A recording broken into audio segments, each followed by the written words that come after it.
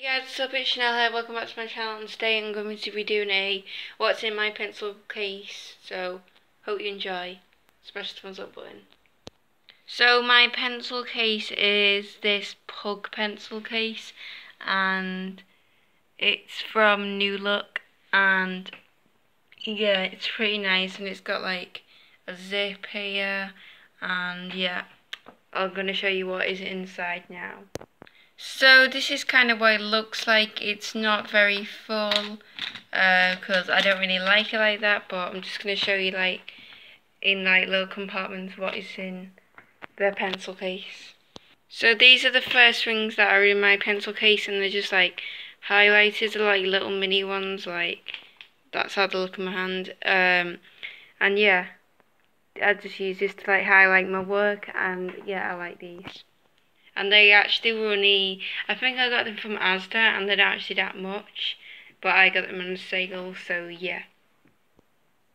The next thing is just this little rubber. I don't normally have this in but I couldn't find my old rubber because I lost it.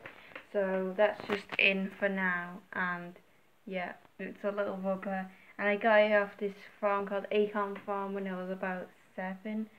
So that was like six years ago so yeah the next thing is just this red pen. It's a BIC one. You can see the sign. Yeah, it's a BIC one, but it won't focus. And yeah, some schools ask you to mark with a red pen. So I just take this anyway if I want to write in a different colour. So yeah. And I have this purple pen that's just like if I want to mark like if I wanna write in a different colour so yeah that's why I use that.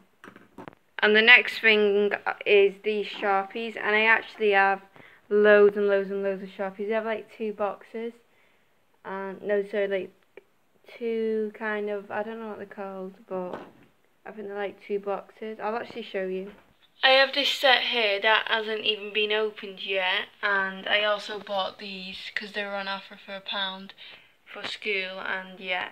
I also I've got bought another big box but I'm not sure where it is.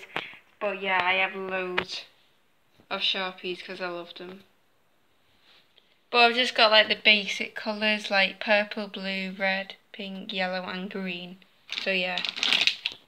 And the last thing in my pencil case is just this pencil. I'm sure you saw it before. It's just like the traditional school pencil.